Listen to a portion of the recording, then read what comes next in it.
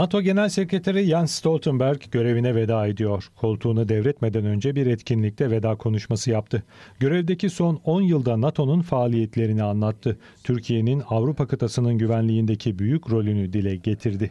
Without Turkey in the south, Norway in the north, and the US, Canada, and United Kingdom in the west, it is impossible to envisage the security of the European continent. Stoltenberg konuşmasını bir düşünce kuruluşunun düzenlediği etkinlikte yaptı.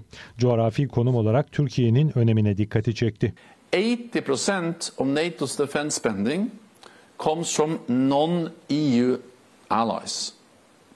And it's not only about resources, it's also about geography.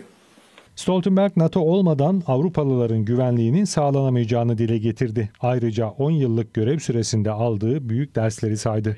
Bu derslerden biri de barıştı. First, we have to be willing to pay the price for peace. Freedom is more important than free trade. ABD dışındaki NATO üyelerinin gayri safi milli hasılasının en az %2'sini savunmaya ayırması hedefine ulaşıldı. Ancak NATO Genel Sekreteri artık bunun yeterli olmadığını dile getirdi. The more money, the stronger our defenses, the more the effect- effective our deterrence, the greater our security. Stoltenberg önemli bir uyarıda daha bulundu.